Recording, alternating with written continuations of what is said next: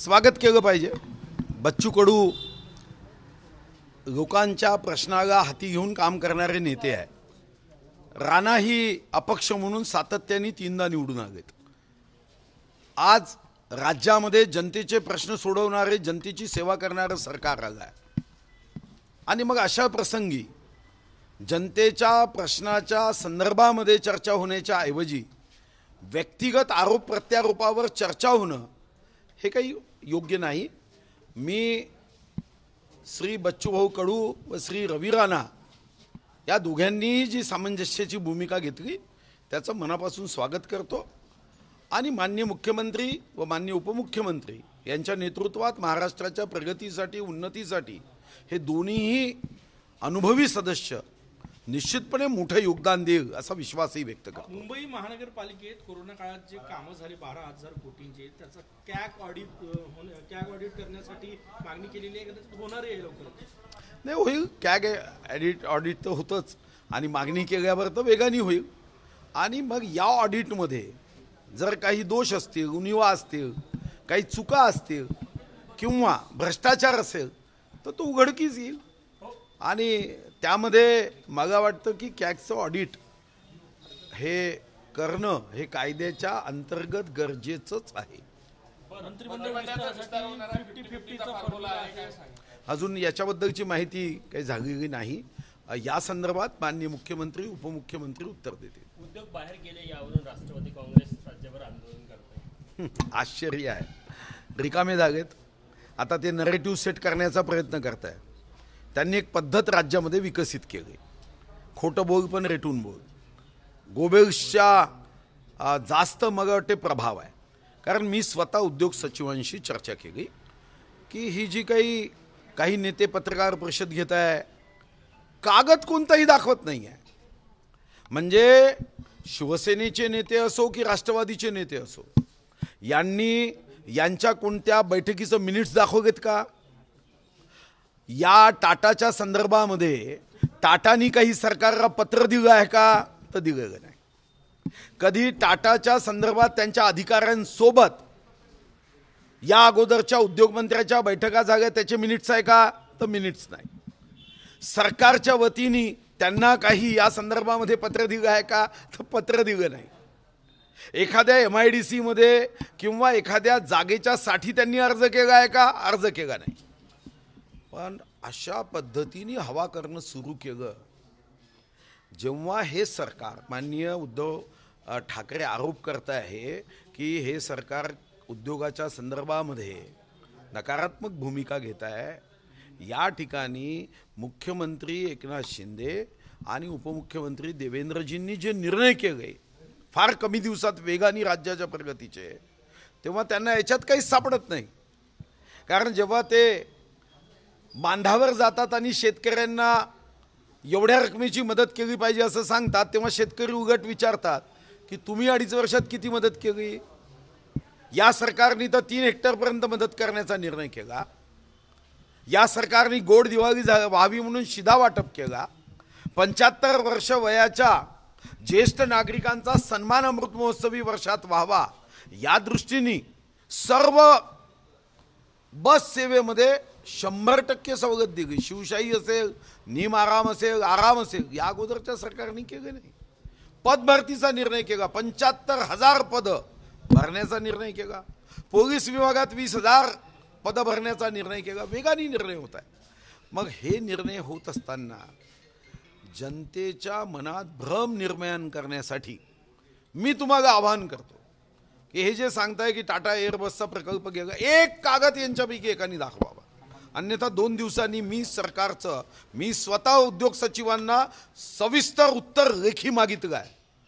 आणि मी मान्य मुख्यमंत्र्यांशी भेट घेऊन सांगणार आहे की अशा पद्धतीने जर भ्रम निर्माण केलं जात असेल तर निश्चितपणे माहिती जनसंपर्क विभागाने सत्यस्थिती लोकांसमोर ठेवली पाहिजे.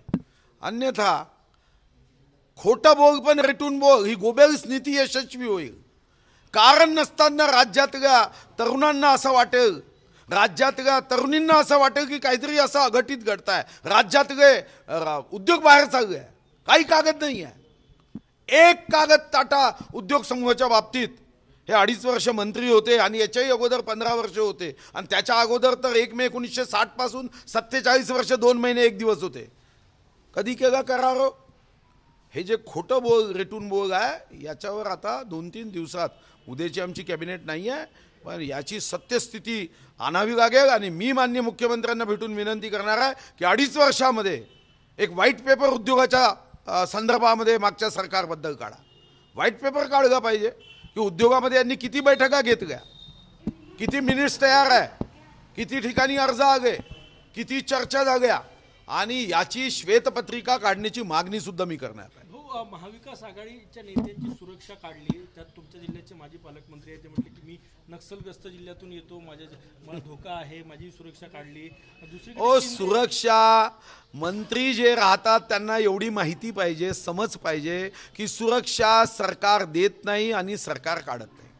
गृह विभागामध्ये या संदर्भामध्ये सुरक्षेसाठी जी समिती आहे ती समिती तुमच्या संदर्भामधला आढावा घेते आणि मुख्य सचिव यांच्याकडे या संदर्भातल्या बैठकीमध्ये सुरक्षा वाढवायची की कमी करायची हे ठरतं?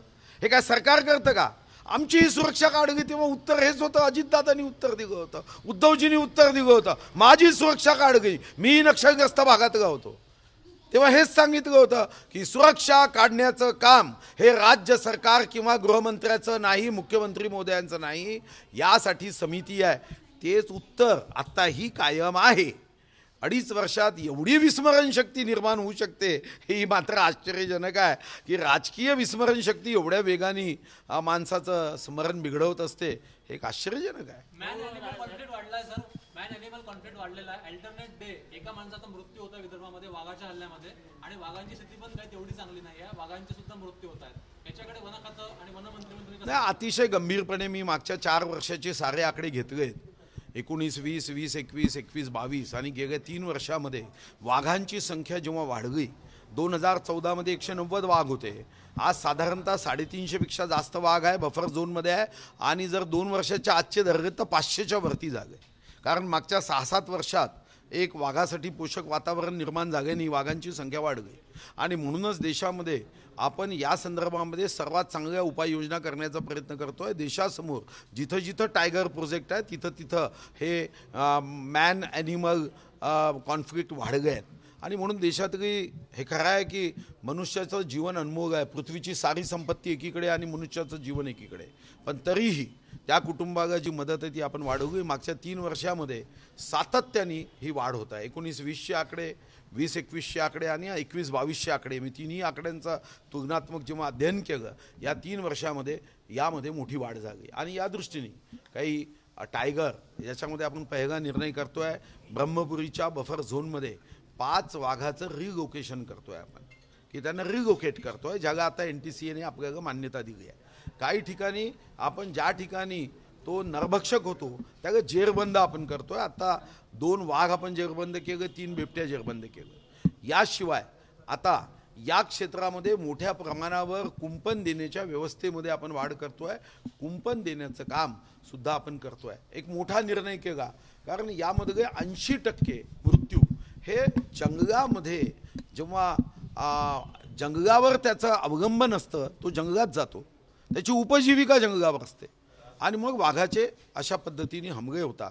आणि म्हणून आपण तेंदूपत्त्यामध्ये पहिल्यांदा बोनस द्यायचो. मजुरी तर दिल्याच जायची. पण बोनस देताना सरकार एक काटकसर करायची आस्थापना खर्च मायनस करायचा. मी आल्याबरोबर निर्णय केला की या भागामध्ये आता आस्थापना खर्च कापायचा नाही. म्हणून यावर्षी वीस कोटी बोनसच्या ऐवजी बहात्तर कोटी बोनस हा या ग्रामीण भागातील आणि ज्यांचं जंगलावर जीवन आहे यामध्ये दिला जाईल. डॉक्टर श्यामाप्रसाद मुखर्जी जन्मनी योजनेच्या माध्यमातून यावरमध्ये रोजगारासाठी जंगलात जात जाण्याची आवश्यकता पडू नये. या दृष्टीने ही योजना बनवल्या जात आहे. आणि ज्या ठिकाणी आवश्यकता आहे तिथं वाघ जेरबंद केला जात आहे. पण तीन वर्ष एकोणीस वीस वीस एकवीस आणि एकवीस बावीस तिन्ही वर्षाची आकडेवारी हे निश्चितपणे यामध्ये चिंताजनक आहे आणि यासाठी अनेक योजना प्रस्तावित आहे राज ठाकरेंनी म्हटलंय की जे उद्योग आहे ते गुजरातमध्ये जात आहे. पंतप्रधानाचं जे हे देशाचे असतात त्यामुळे मोठा विचार व्हायला पाहिजे. नाही शेवटी गुजरातमध्ये मी आपल्याला सांगितलं की एखादा तरी कागद दाखवला जातो आहे का? काही ठिकाणी तर कपोकल्पितच राईचा नव्हे राईच्या फोटोचा पर्वत केला जात आहे. मागा नेत्यांकडून अपेक्षा आहे ठीक आहे. जे छोटे असतील त्यांच्याकडून फार मी अपेक्षा करणार नाही कारण त्यांना कागद उपलब्ध होणार नाही. पण जे मोठ्या मोठ्या पदावर अनेक वर्ष काही तर परिवार आहे वंशवाद आहे त्यांनी तर कागद द्यावी ना? किंवा टाटा एअरवेजचा प्रकल्प गेला हा कागद आहे हे मिनिट्स आहे हे बैठक आहे. या बैठकीत हा प्रस्ताव आहे जागेची मागणीपत्र आहे. काही कागद द्यायचा नाही. आणि म्हणून मी जसं म्हटलं की आता याच्यावर व्हाईट पेपर काढला पाहिजे. मान्य मुख्यमंत्री व माननीय उपमुख्यमंत्री जनसेवेसाठी पूर्ण वेळ निर्णय घेण्यामध्ये ते कामी लागले त्यामुळे मला वाटतं की यांचं फावतं आहे. खोटी माहिती लोकांपर्यंत पोचवतात तुमच्या चॅनल्सच्या समोर येतात. पण एक कागद मात्र दाखवत नाही. कागद दाखवायला काय जागो मग? कागद कुठं घेऊन ठेवलं आगमारीत बंद केलं आहे का? की हा आम्ही प्रकल्प आणणार होतो या प्रकल्पाचा प्रस्ताव आमच्याकडे होता. मला असं वाटतं की नेत्यांनी बोलताना कमीत कमी आपल्या राजकारणासाठी बिना कागद देता असं बोलू नये. थँक्यू भाऊ राज ठाकरेंनी प्रश्न केला त्यांना तुम्ही काय सांगाल नाही राज ठाकरेंनी मला प्रश्न केला नाही. तर तुम्हाला केला असेल तर. नाही गुजरातला असे उद्योग नेण्याचा कुठेही महाराष्ट्राच्या हक्काचे उद्योग गुजरातला जाण्याचा प्रश्नच उपस्थित होत नाही. पण जिथं एमओयूच नाही जिथं कोणताच कागद नाही तो प्रकल्प देशात कुठेही जातो. त्याच्याबद्दल हा महाराष्ट्राचाच प्रकल्प होता असं म्हणणं अयोग्य आहे. एबीपी माझा उघडा डोळे बघा नीट.